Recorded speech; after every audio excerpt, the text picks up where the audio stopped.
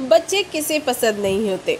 फिर वो आम हो या ख़ास, बच्चों की क्यूटनेस देखकर सभी का दिल उन पर आ ही जाता है।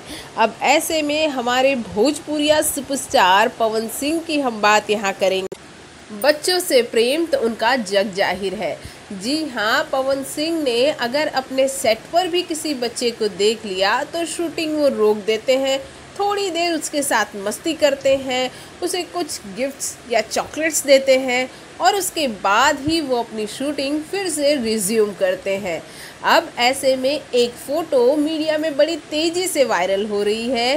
पवन सिंह अपने छठ गीत का, जो कि उनका दूसरा छठ गीत रिलीज़ हुआ है, उसकी शूटिंग कर रहे थे। और उसी वक्त सेट पर क्यूट से प्यारे से बेबी को जब पवन सिंह ने देखा तो उनसे रहा नहीं गया। वो सीधे अपने कमरे में गए और उस बच्चे को वहाँ उन्होंने बुलाया और उस बच्चे को वहाँ उन्होंने बुलाया, उसके साथ थोड़ी मस्ती की, थोड़ा प्यार लुटाया और फिर उसके पेरेंट्स को उसे लौटा दिया। जी हाँ ये जो आप फ़ोटो देख रहे हैं, ये पवन सिंह के दूसरे छठ गीत के सेट की फ़ोटो है और उनके हाथ में एक प्यारा सा, छोटा सा बेबी है, जिसे देखने के बाद लोग ये सोच में पड़ गए कि कहीं ये पवन सिंह का तो बच्चा नहीं है। और हम आपको बता दें, ऐसा कुछ भी नहीं है।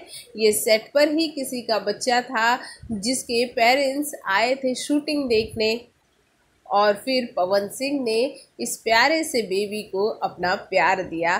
पवन सिंह ही नहीं, ज्योति सिंह, जो कि पवन सिंह की पत्नी है, उन्हें भी बच्चों से बहुत लगाव है और वो हमेशा अपने इंस्टा पर और अपने सोशल मीडिया साइट्स पर बच्चों की फ़ोटोज़ वो हमेशा अपलोड करती रहती हैं। भोजपुरी जगत की हॉट और मसालेदार गॉसिप के लिए हमें सब्सक्राइब करना बिल्कुल ना भूलिए।